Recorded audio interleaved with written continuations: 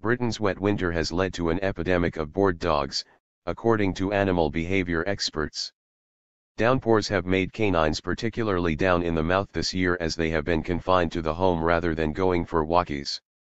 December 2015 was the wettest month on record in the UK and if temperatures keep rising, winters will get wetter still. Carolyn Menteith, a dog behavior specialist who was named Britain's Instructor of the Year in 2015, said that unlike on crisp, frosty days, many dog owners are more reluctant to venture out in the rain. I've been working with dogs for more than 20 years and I can't remember a time when they've been this bored. I tend to see boredom in bursts but I'm seeing it chronically this winter, she said. They are just really, really, bored. People are quite happy to get their dogs out in frosty, hard weather but not when it's muddy and horrible. But we have over 200 breeds of dog in this country and an awful lot of them especially family dogs like Labradors, Retrievers, and Spaniels, were bred to do a job. So they are hardwired to work and need a lot of exercise, she told The Independent.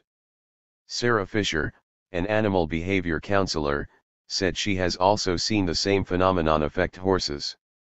She said, I've never seen our dogs or horses this bored before in 20 years.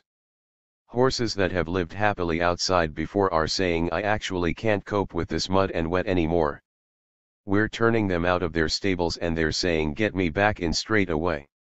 They can't settle, they look bored, but actually it's to do with physical stress and mental boredom, they can't go off quietly and graze because they keep sliding around the field. In Cardiff, dog owners have the option of an indoor walking range called Action Pets. Elsewhere suggestions to keep dogs' brains engaged include hiding their food in the house, and allowing them to sniff it out, and giving smaller meals. Other tips include engaging in a tug of war with your dog and a length of rope, and arranging a play date with a friend's dog.